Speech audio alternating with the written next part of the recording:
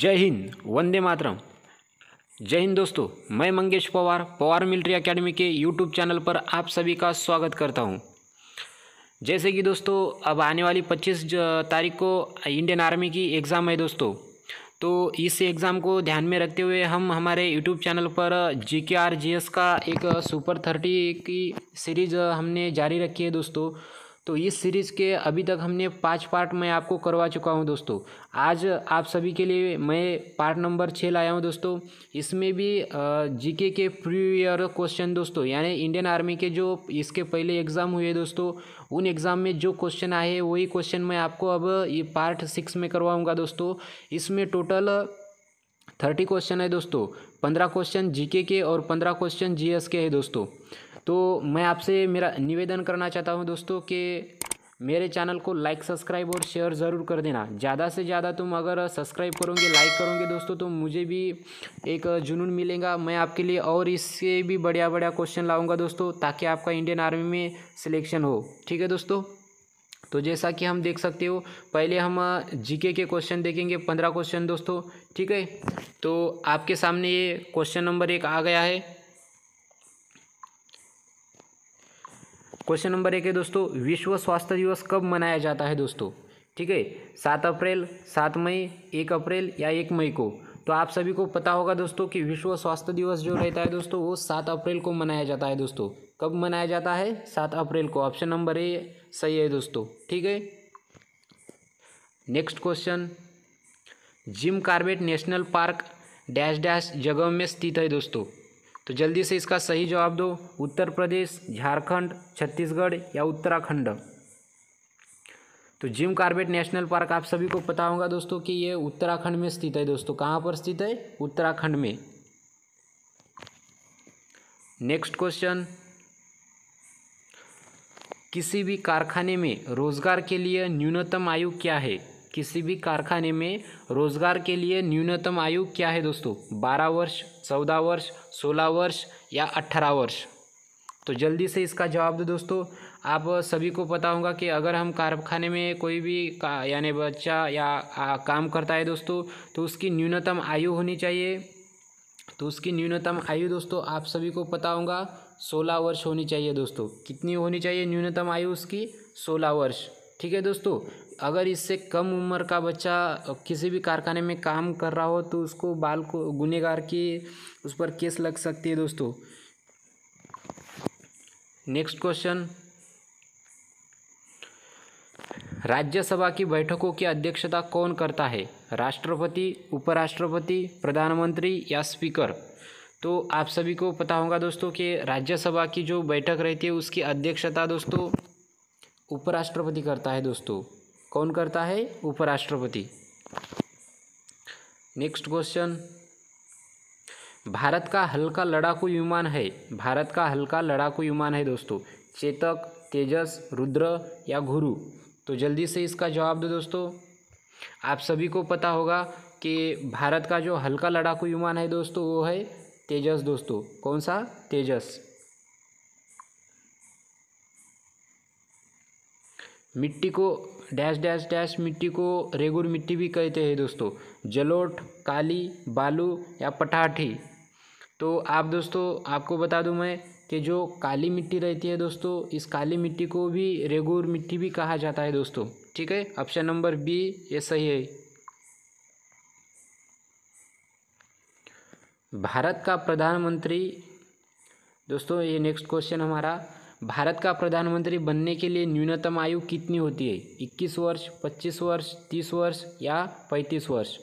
तो आप सभी को पता होगा दोस्तों कि जो भारत का प्रधानमंत्री ये लोकसभा से चुने जाते हैं दोस्तों, ठीक है? और उनकी जो आयु है दोस्तों, ये पच्चीस वर्ष होनी चाहिए दोस्तों।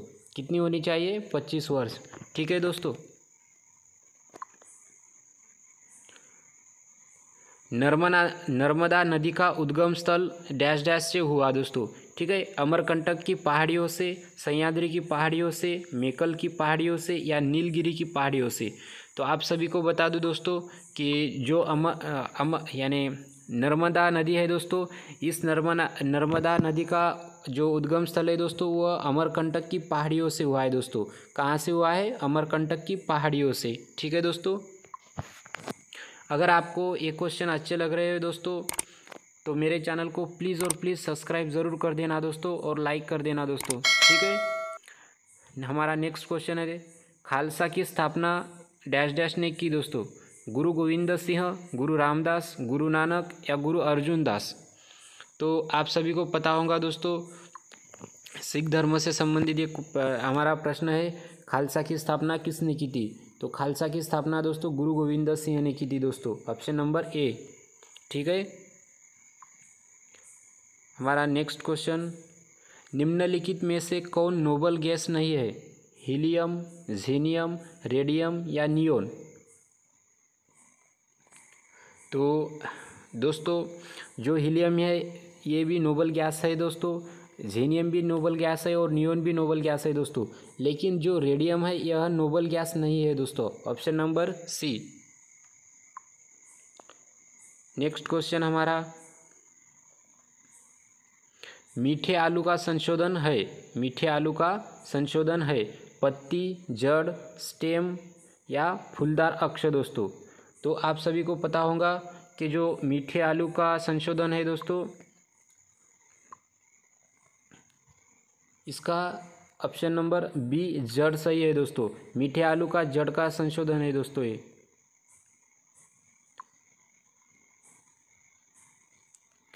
नेक्स्ट क्वेश्चन मसूड़ों से रक्तस्राव किस विटामिन की कमी से होता है दोस्तों? मसूड़ों से रक्तस्राव किस विटामिन की कमी से होता है? तो आप सभी को पता होगा दोस्तों कि विटामिन सी की वजह से दोस्तों, विटामिन सी की वजह सी की, सी से सॉरी दोस्तों, मसूड़ों से रक्तस्राव किस विटामिन की कमी से होता है? तो विटामिन सी की कमी से मसूड़ों से रक्तस्राव होता है दोस्तों। ठीक है? हमारा नेक्स्ट क्वेश्चन लोकमान्य के नाम से किसे जाना जाता है दोस्त? लोकमान्य के नाम से किसे जाना जाता है? बाल गंगाधर तिलक, महात्मा गांधी, जयप्रकाश नारायण या इनमें से कोई नहीं। तो सभी को पता होगा दोस्तों, लोकमान्य के नाम से किसे जाना जाता है? बाल गंगाधर तिलक दोस्तों, ठीक है? नेक्स्ट क्वेश्चन मानचित्र का अध्ययन डैश डैश कहलाता है। सुलेख, भूगोल, भूविज्ञान या मान मानचित्र कला दोस्तों, ठीक है? तो आप सभी को बता दूँ दोस्तों मैं कि मानचित्र का अध्ययन भूगोल कहलाता है दोस्तों। अगर ऑप्शन में भूगोल नहीं रहा दोस्तों, ठीक है, अगर ऑप्शन में भूगोल नहीं रहता है तो कार्टोग्राफी इसका सही जवाब होगा दोस्तों। ठीक है, क्या सही जवाब होगा? कार्टोग्राफी हमारा जीके का लास्ट क्वेश्चन भगत सिंह और उनके साथियों ने बदला लेने के लिए ब्रिटिश अफसर जॉन सांडरन को क्यों मार डाला दोस्तों? ठीक है option number A Ram Prasad Bismil की हत्या के कारण चोरा चोरी कांड के का, ग्रामीणों की मौत के कारण दोस्तों, लाला लाजपत राय की हत्या के कारण या जलियावाला बाग हत्याकांड के कारण दोस्तों। तो आप सभी को पता होगा दोस्तों कि लाला लाजपत राय की हत्या के कारण दोस्तों, ऑप्शन नंबर सी सही है, लाला लाजपत राय की हत्या के कारण, ठीक है? तो यहाँ पर दोस्तों हमारे जो जीके के पंद्रह क्वेश्चन थे, वो पूरे हो गए हैं। मुझे कमेंट कर कर ज़रूर बताना कि आपके कितने क्वेश्चन सही आए हैं दोस्तों। जो इसके पहले इंडियन आर्मी की एग्ज़ाम हुई है, उस एग्ज़ाम में ये सारे क्वेश्चन पूछे जा चुके हैं दोस्तों। और आपको मैं बता दूँ, मेरे अनुभव से भी, क्योंकि मैं अभी, मुझे दो तीन साल हो गए, मैं बच्चों को पढ़ाता हूँ दोस्तों तो तभी से मुझे अच्छी तरह से इंडियन आर्मी की जो एग्ज़ाम है, इसमें किस तरह के क्वेश्चन पूछे जाते हैं, सब पता है दोस्तों। तो मैं आपको बता दूँ इंडियन आर्मी में ज़्यादातर बार बार वही क्वेश्चन रिपीट दोहराए जाते हैं दोस्तों। अगर आप, मैं ये जो आपको, जो सीरीज़ आपके मैं करवा रहा हूँ दोस्तों, ये सीरीज़ अभी तक पाँच सीरीज़ में करवा चुका हूँ और ये नेक्स्ट सिक्स सिक्स सीरीज़ है दोस्तों। तो इसमें जो भी थर्टी क्वेश्चन मैं करवाता हूँ जीके और जीएस के तो ये क्वेश्चन आने वाली एग्ज़ाम में आने के बहुत बहुत और बहुत ही चांस है दोस्तों। इसलिए मैं बोलता हूँ कि मैं जो ये सीरीज़ करवा रहा हूँ, अच्छी तरह से आप इन क्वेश्चन को याद रख लो, पढ़ लो दोस्तों, क्योंकि बहुत चांस है ये एग्ज़ाम में ज़रूर आएँगे ही आएँगे दोस्तों। अगर इनमें से आपका फाइव क्वेश्चन भी अगर एग्ज़ाम में आते हैं, ठीक है, मैं सिर्फ़ पाँच ही क्वेश्चन बोल रहा हूँ दोस्तों तो आपका मेरिट में आने के चांस बहुत है। क्योंकि दोस्तों मेरिट में आप एक एक अंक से कम, अगर एक अंक आपको कम पड़ गया तो आप मेरिट से बाहर हो जाओगे। तो आपका सिलेक्शन इंडियन आर्मी में नहीं होगा। इसलिए इन क्वेश्चन को इग्नोर ना किया करो दोस्तों। मैं बाकी की तरह कुछ फालतू का आपको नहीं पढ़ाता हूँ। जो आपके काम का है, वही आपको मैं पढ़ाता हूँ दोस्तों। तो इसलिए कह रहा हूँ कि मेरे चैनल को सब्सक्राइब लाइक और शेयर ज़रूर कर देना दोस्तों। ताकि आने वाले इंडियन आर्मी की जो भी अपडेट होंगी, जो भी रैलियों की अपडेट होंगी दोस्तों, और जो भी आपके लिए एग्ज़ाम के लिए सही होगा, मैं वही आपको पढ़ाऊँगा दोस्तों, ताकि आपका भी इंडियन आर्मी में सिलेक्शन हो दोस्तों, और आप भी देश के एक फौजी बनो। ठीक है? तो हम देखेंगे अब सामान्य विज्ञान के पंद्रह क्वेश्चन दोस्तों। तो इसका पहला क्वेश्चन आपके सामने आ चुका है कि बल्ब में बल्ब में कौन सी गैस भरी होती है दोस्तों? ऑर्गन, हाइड्रोजन, नाइट्रोजन या टंगस्टन? तो जल्दी से इसका सही जवाब दो दोस्तों। आप सभी को पता होगा दोस्तों, जो बल्ब है, इसमें ऑर्गन रहता है दोस्तों। क्या भरी क्या भरी होती है दोस्तों? इसमें बल्ब में कौन सी गैस भरी होती है? तो ऑर्गन भरी होती है दोस्तों, ठीक है? बेकिंग सोडे का रासायनिक सूत्र क्या है? N A two C O three N A H C O three N A C L N A O H तो आप सभी को पता होगा दोस्तों कि जो बेकिंग सोडा है, इस बेकिंग सोडे का जो रासायनिक सूत्र है दोस्तों, वो रासायनिक सूत्र होगा N A H C O three दोस्तों N A H C O three ठीक है? मुझे कमेंट कर कर ज़रूर बताना दोस्तों कि आपके कितने क्वेश्चन सही आ रहे हैं। प्राथमिक रंग से, रंग कौन से है दोस्तों? प्राथमिक रंग कौन से है? तो नीला, पीला, बैंगनी पीला लाल, नारंगी, हरा पीला लाल या लाल, नीला, हरा। तो आप सभी को बता दूँ दोस्तों कि जो प्राथमिक रंग है, ये प्राथमिक रंग लाल, नीला और हरा है दोस्तों। कौन सा है? लाल, नीला, हरा। अगर ये दोस्तों रहे प्राथमिक रंग, अगर चित्रकला में प्राथमिक रंग आपसे पूछे जाए तो लाल, नीला और पीला होगा दोस्तों। एक बात याद रखना, ये दोनों अलग अलग है, ये कन्फ्यूज़ है आपका तो ये क्लियर कर लो दोस्तों। अगर आपको प्राथमिक रंग पूछे जाए तो लाल, नीला, हरा दोस्तों, ठीक है? और अगर चित्रकला में प्राथमिक रंग पूछे जाए तो लाल, नीला और पीला दोस्तों, लाल, नीला और पीला, ठीक है? हमारा नेक्स्ट क्वेश्चन नाभिकीय संलयन का उदाहरण है। बायोगैस, हाइड्रोजन बम, बिजली या कृषि। तो जल्दी से इसका सही जवाब दो दोस्तों। नाभिकीय संलयन का उदाहरण है हाइड्रोजन बम दोस्तों। क्या? Hydrogen bomb. ठीक है? नेक्स्ट क्वेश्चन दोस्तों। कौन सी धातु कमरे के ताप पर द्रव अवस्था में पाई जाती है? कौन सी धातु कमरे के ताप पर द्रव अवस्था में पाई जाती है, लोहा, चांदी, पारा या सोडियम। तो जल्दी से इसका सही जवाब दो दोस्तों। जो पारा है दोस्तों, इसका सही जवाब होगा दोस्तों। कौन सी धातु? पारा धातु कमरे के ताप पर द्रव अवस्था में पाई जाती है दोस्तों। ठीक है? Next question. गाड़ी चालक के बगल में कौन सा दर्पण लगा होता है? उत्तल अवतल, समतल या बेलनाकर तो आप सभी को पता होगा दोस्तों, इसका सही जवाब है उत्तल दर्पण दोस्तों, ठीक है? गाड़ी चालक के बगल में कौन सा दर्पण लगा होता है दोस्तों? उत्तल दर्पण। हमारा नेक्स्ट क्वेश्चन सोनार शब्द का अभिप्राय डैश डैश है दोस्तों। ध्वनि न्यूट्रलाइजेशन और रेंजिंग ध्वनि मार्ग निर्देशन और पहुंचाना, ध्वनि मार्ग निर्देशन और रेंजिंग ध्वनि न्यूट्रलाइजेशन और पहुंचाना दोस्तों। ठीक है? तो जल्दी से इसका सही जवाब दो। ये क्वेश्चन थोड़ा सा आपको अलग लगेगा दोस्तों। तो इसका सही जवाब होगा, क्योंकि ये क्वेश्चन बहुत एक दो क्वेश्चन इंडियन आर्मी में मैं आपको बता दूँ दोस्तों, क्या हार्ड पूछे जाते हैं। तो शायद ये हार्ड लेवल का क्वेश्चन आपको लग रहा होगा दोस्तों, ठीक है? तो सोनार शब्द का अभिप्राय दोस्तों है, ध्वनि मार्ग निर्देशन और रेंजिंग दोस्तों, ठीक है? हमारा नेक्स्ट क्वेश्चन साधारण नमक का रासायनिक नाम क्या है? Sodium oxide, sodium chloride, sodium hydroxide या सोडियम बाइकार्बोनेट? ठीक है दोस्तों? तो जल्दी से इसका सही जवाब दो दोस्तों, आप सभी को पता होगा कि साधारण नमक जिसका रासायनिक सूत्र एनएससीएल है दोस्तों, उसका रासायनिक नाम क्या है? तो इसका रासायनिक नाम आप सभी को पता होगा। जल्दी से जवाब दो दोस्तों इसका। सोडियम क्लोराइड दोस्तों, ठीक है? रासायनिक नाम इसका सोडियम क्लोराइड दोस्तों, रासायनिक सूत्र होगा इसका एन दोस्तों। ये याद रखना, साधारण नमक का ये आप रासायनिक सूत्र आपको बहुत बार एग्ज़ाम में पूछा गया है दोस्तों तो इसका रासायनिक सूत्र होगा एन और इसका रासायनिक जो नाम है वो सोडियम क्लोराइड दोस्तों, ठीक है? नेक्स्ट क्वेश्चन, निम्न में से सोडियम का प्रतीक है। तो आप सभी को पता होगा दोस्तों कि जो सोडियम है, सोडियम का प्रतीक क्या है? तो सोडियम का प्रतीक दोस्तों N option number D is correct answer दोस्तों, ठीक है? नेक्स्ट क्वेश्चन त्वचा का रंग किस से बना होता है? गोबर मेलानिन चाय या साबुन?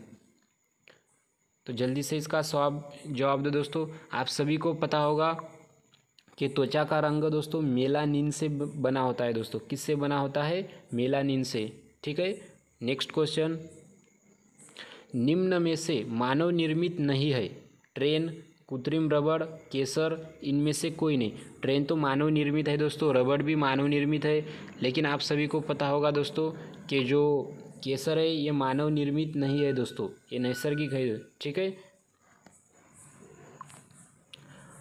नेक्स्ट दोस्तों इलेक्ट्रोमैग्नेट डैश डैश से बनता है दोस्तों। इलेक्ट्रोमैग्नेट डैश डैश से बनता है। जस्ता, तांबा, स्टील या नर्म लोहा। तो आप सभी को पता होगा दोस्तों कि इसका सही जवाब होगा नर्म लोहा दोस्तों। इलेक्ट्रोमैग्नेट नर्म लोहा से बनता है दोस्तों। किससे? नर्म लोहा से। ठीक है? हमारा नेक्स्ट क्वेश्चन डायनेमो यांत्रिक ऊर्जा को किस ऊर्जा में बदलता है दोस्तों? डायनेमो यांत्रिक ऊर्जा को किस ऊर्जा में बदलता है? प्रकाश ऊर्जा, विद्युत ऊर्जा, सौर ऊर्जा या इनमें से कोई नहीं? तो जल्दी से इसका सही जवाब दो दोस्तों। जो डायनेमो है दोस्तों, ये यांत्रिक ऊर्जा को विद्युत ऊर्जा में बदलता है दोस्तों। किस ऊर्जा में बदलता है? विद्युत ऊर्जा में। ठीक है दोस्तों? हमारा नेक्स्ट क्वेश्चन। कितने लीटर एक गैलन के बराबर होते हैं दोस्तों? तो ये लगभग जो चार पॉइंट पाँच सौ छियालीस के बराबर होता है दोस्तों एक गैलन। कितने लीटर एक गैलन के बराबर होते हैं? तो यही इसके आसपास रहेगा दोस्तों, क्योंकि इसमें करेक्ट आंसर नहीं दिया है। चार पॉइंट पाँच सौ छियालीस लीटर एक गैलन के बराबर होता है दोस्तों, ठीक है? ये इसके आसपास ही रहता है। क्योंकि एग्ज़ाम में इस ऐसे ही ऑप्शन दिए गए थे दोस्तों, इस वजह से एग्ज़ाम में करेक्ट आंसर नहीं दिया गया था। तो चार पॉइंट पाँच सौ छियालीस के आसपास रहता है, इसलिए हमारा सही जवाब होगा ऑप्शन नंबर बी, चार पॉइंट पाँच सौ छियालीस। ठीक है दोस्तों? और हमारा अब ये लास्ट क्वेश्चन ठीक है? ये जीएस का लास्ट क्वेश्चन है दोस्तों, सामान्य विज्ञान का। तो हम देखेंगे ये क्वेश्चन देखने से पहले आप सभी से मेरा एक बार निवेदन है दोस्तों कि चैनल को लाइक सब्सक्राइब और शेयर ज़रूर कर देना और इन क्वेश्चन को इग्नोर ना करो दोस्तों, क्योंकि बहुत चांस है आने वाले एग्ज़ाम में क्वेश्चन पूछे जाएँगे, ठीक है? तो जैसे कि हम देखेंगे अब लास्ट क्वेश्चन हमारा। एक परमाणु के नाभिक डैश डैश होते हैं दोस्तों, केवल न्यूट्रॉन इलेक्ट्रॉन और न्यूट्रॉन प्रोटॉन और न्यूट्रॉन दोस्तों इलेक्ट्रॉन और प्रोटॉन दोस्तों। तो इसका सही जवाब होगा दोस्तों, प्रोटॉन और न्यूट्रॉन। एक परमाणु के नाभिक में क्या होते हैं दोस्तों? प्रोटॉन और न्यूट्रॉन दोस्तों, ठीक है?